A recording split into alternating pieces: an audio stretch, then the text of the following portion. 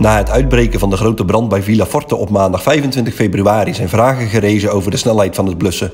Ondanks dat de brandweer de prioriteit in het begin op redding legde, omdat er mogelijk sprake zou zijn van personen in het pand, heeft dat geen vertraging bij het blussen opgeleverd. Uiteindelijk is ons, onze eerste inzet erop gericht om mensen te redden. Uh, dat is lange tijd onduidelijk geweest, maar uiteindelijk is kunnen achterhaald worden dat er geen mensen meer binnen waren. Het college heeft inmiddels schriftelijke vragen van het CDA hieromtrent beantwoord. Het eerste blusvoertuig was binnen twee minuten aangesloten op de brandkraan. De normtijd is overigens drie minuten. De hoogwerker werd door de tweede tankautospuit direct gevoed met water uit de Maas. De overige voertuigen werden gevoed via een zogenaamd grootwatertransport.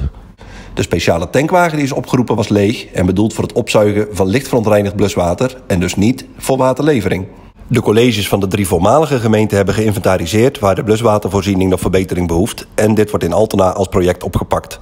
Daarbij is ook aandacht voor de bereikbaarheid van de bluswatervoorzieningen.